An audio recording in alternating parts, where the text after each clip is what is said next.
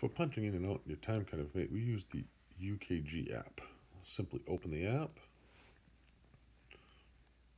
enter your password, and then click login.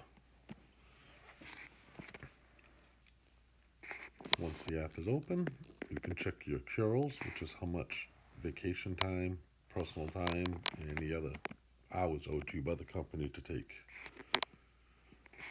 Click the home button, we'll bring you back. You can click the time card button and check all your hours from your punches all week to be sure that your punches are accurate and you are not missing one. You can also click the previous pay period and check to make sure that any days or hours you were owed that weren't on the previous week you were paid for. Turn back to home screen, you can punch out. If you're punching out for the end of the day, click cancel deduction button. This will take away the automatic 30 minute deduction.